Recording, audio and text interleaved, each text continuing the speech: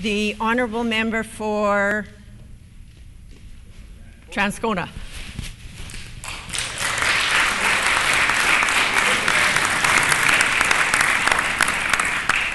Thank you, Madam Speaker. I rise today in my traditional Vyshyvanka, or Ukrainian shirt, in celebration of my Ukrainian heritage, as I also did last Thursday here in the House, which was Vyshyvanka Day, where Ukrainians across the globe participate similarly in their communities. I had the pleasure of participating in this event at Oseredok Ukrainian Cultural and Education Center. Oseredok was an appropriate venue for Vyshyvanka Day, as this institution is all about Ukrainian culture and heritage, the center's mission statement, sharing Canadian Ukrainian cultural experiences reflects its role on a variety of levels. It is the keeper of the community's collective memory by virtue of its extensive collect collections that document 125 years of the intellectual and cultural life of the Ukrainian community in Canada.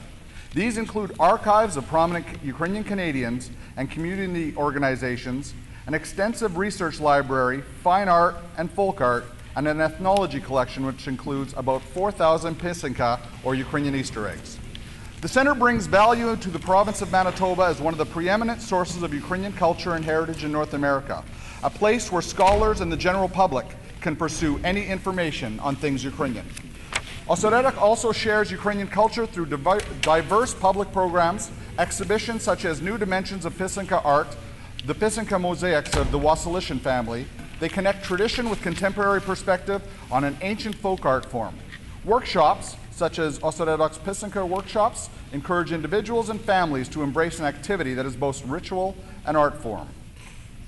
Special events, such as the annual Festival of Carols, which I have sung in, brings together community choirs in a festive celebration of Ukrainian Christmas music.